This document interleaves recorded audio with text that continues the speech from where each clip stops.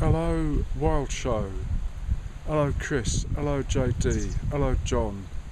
Uh, just to say, we can get the internet in the Langdale Valley, and um, so I interrupt my holiday uh, just to point out that the talks from TEDx Exeter are now on YouTube.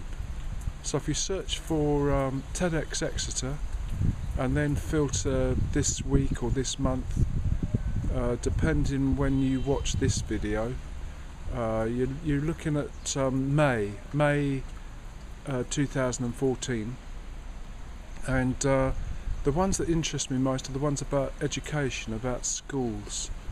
Um, are schools ready for coding, or should there be digital literacy?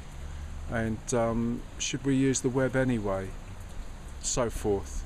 And um, a little bit about 3D printing as well.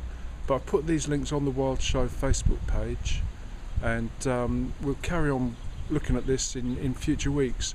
Uh, it's okay here in the lakes. Uh, I'm at the Sticklebarn uh, Tavern, and um, it is rain. It is raining just a bit, and um, the tavern isn't open quite yet, but um, it, it it will be soon. So uh, I hope all's well with you, and uh, I'll be back next week. Bye.